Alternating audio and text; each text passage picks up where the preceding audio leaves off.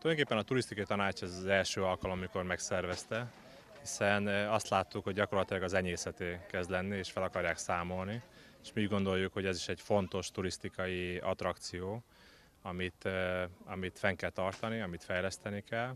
és ezért szerveztük meg, ezért próbáltuk gyakorlatilag ide egy kis, hát azt mondom vasutas, kisvasút napját, én ezt még fesztiválnak azért nem nevezném, hiszen azért százan vagyunk itt, száz valahányan, de itt jó érezzük magunkat. Én először, amikor száz éves volt a kisvasút, 2012-ben voltam itt, azzal kezdtük, hogy főztünk itt egy baráti körrel egy halászlét, és nagyon jó sikerült, és a, azt gondolom, hogy gyerekeknek ez egy óriási élmény, hogy a kisvasúttal jöhetnek, és nem csak a gyerekeknek, nekünk felnőttöknek is, hiszen egy kicsit úgy szórakozunk, gyönyörű a táj,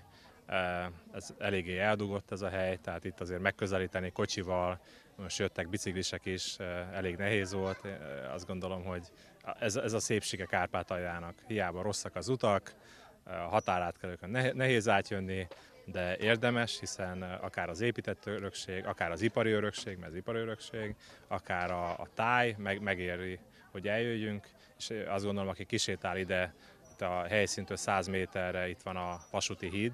ami több mint 100 éves, és megtekinti a, a borzsát, a borzsavölgyét, az beleszeret ebbe a tájba, és, és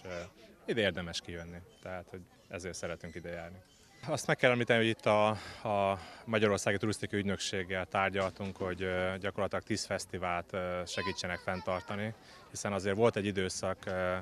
2014 óta, amikor a keleti események ugye megtörténtek, illetve a Krím elcsatolása, amikor gyakorlatilag úgy, úgy, úgy be is szüntették a fesztiválokat, egy ideig úgy nem lehetett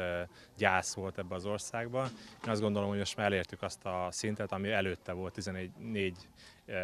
év, ez, 10 évvel ezelőtt, és most kezdjük támogatni azokat a rendezvényeket, amik úgy látjuk, hogy valóban nem csak egy falunap, hanem több annál. Tehát, hogy ez hozzátartozik Kárpátaljához, főleg ilyen gasztrofesztiválokban gondolkodunk, de ez a Borzsavölgyi azért fontos, mert Beregszázból indul, és régen ugye fel lehetett menni egész Ilosváig, sőt ugye Rókamezőig. Sajnos egyre tovább szedik felfele a sineket. Azokat a sineket, amit 1912-ben Diós Zsórbe gyártottak, tehát nekünk ez a feladatunk ennek a generációnak, hogy megmentsük a kisvasutat, és hogy felfejlesszük. Tehát, hogy olyan színvonalú legyen akár a, a mozdony is, akár a, a vagonok is, hogy tényleg ide el lehessen hozni egy, egy európai turistát is, és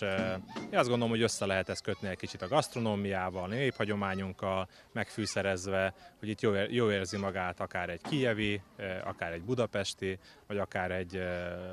lengyelországi turista is.